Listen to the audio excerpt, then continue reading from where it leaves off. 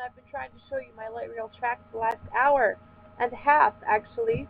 Um, my Hypercam hates me, apparently, and so does uh, Minecraft at the moment.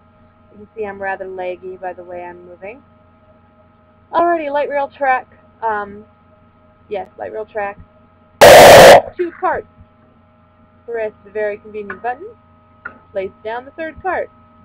Don't get in it yet. I have it set up so that when the second card is coming, you hear a note play, and then the light turns off in a weird place, but um, that tells you the second card is coming. The first card is just about to leave. You have about half a second. Okay, one second to get in the cart, and then the second cart will be there, and then you have about 15 seconds until you go again as long as I don't hit another bug. So I've been having a bug of um, my carts merging together. I'm sure most people have to deal with that at some point. and it's pretty annoying. There we go. Yeah. And also, my view likes to turn to the side when I get in the cart.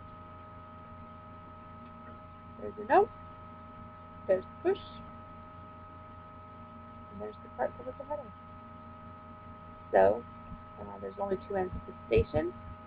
Uh, could have probably, I'm going to try with about five, up to five stops on my next uh, track. So it'll be running kind of in a circle with a whole bunch of stations and at least two carts in transit at any one time with one cart at every single station at any one time.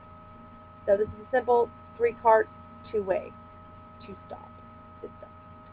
The note and the redstone. So I'm going to do a tutorial once I've figured out, I'll do a tutorial for this one, and then I'll show you guys the five stop one once I've got that one all figured out.